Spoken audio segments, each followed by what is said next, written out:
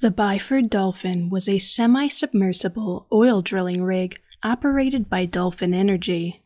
It started operation in 1974 and was drilling for various companies in the North Sea off the coast of Norway. On November 5, 1983, a tragic incident took place on this drilling rig, causing it to be considered one of the most horrifying ocean accidents in history. This story covers some especially gruesome events. Listener discretion is advised. Saturation divers are professional deep sea divers who descend to depths of up to 1,000 feet deep to service equipment on offshore oil rigs and undersea pipelines. Pay is very high for saturation divers, but it's intense work and can be dangerous. As a diver descends, the weight of the water around them applies pressure to every cell in their body. The pressure even compresses molecules of nitrogen, taken in by the lungs, which causes the nitrogen gas to dissolve into the bloodstream. Since the nitrogen is compressed, the body takes in more nitrogen than it would at the surface. The degree of pressure as one descends underwater can be measured in atmospheres. Two atmospheres is double the pressure on the Earth's surface, three atmospheres is triple, and so on. At three atmospheres, a diver's body contains three times the typical amount of nitrogen. If they come up too quickly, the nitrogen will instantly expand to its normal size, forming bubbles inside the diver's body, causing pain, difficulty breathing, or even death. This is called decompression sickness. That's why divers must slowly come up, a little bit at a time, so the nitrogen can safely expand and decompress. Nitrogen bubbles that form in the bloodstream can prevent the circulation of blood. The deeper you dive and the longer you stay underwater, the more nitrogen gets dissolved in your bloodstream. Eventually, a diver's body becomes saturated with dissolved nitrogen, which is how saturation divers got their name.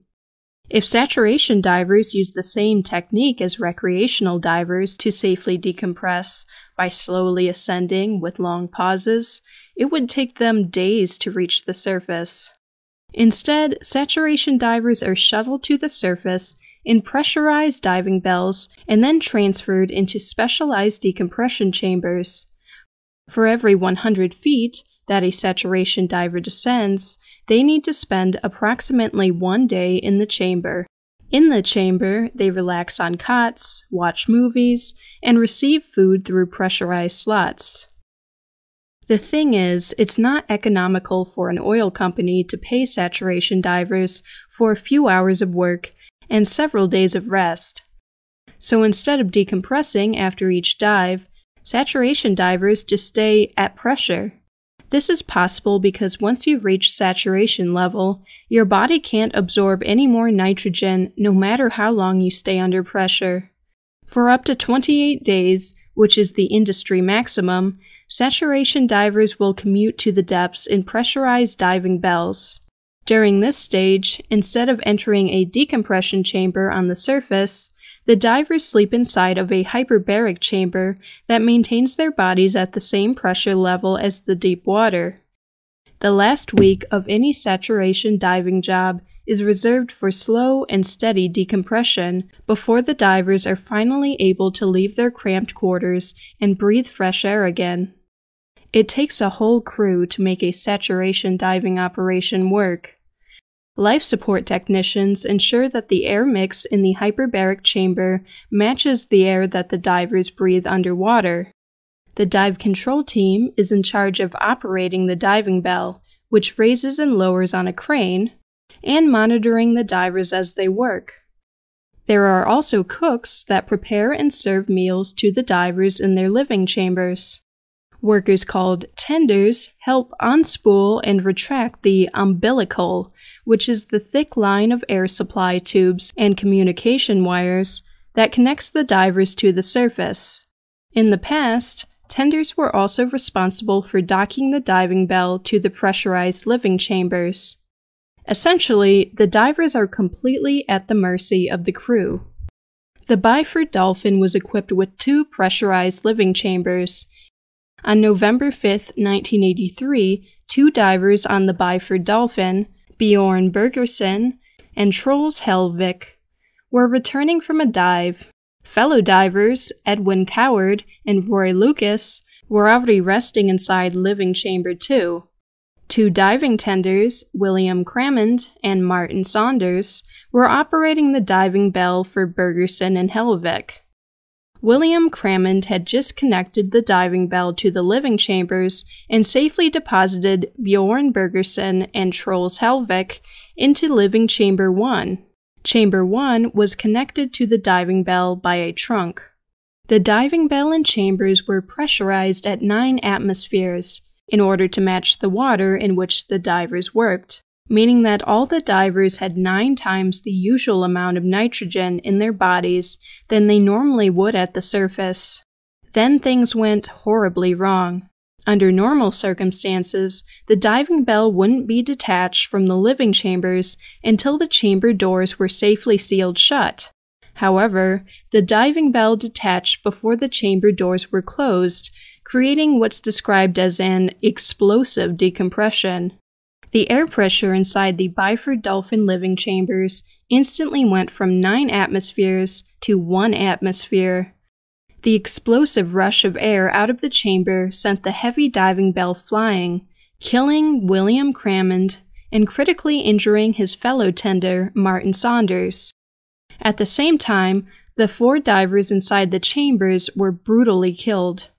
Three of the men, Edwin Coward, Roy Lucas, and Bjorn Bergersen were essentially boiled from the inside when the nitrogen in their blood violently erupted into gas bubbles, instantly killing them.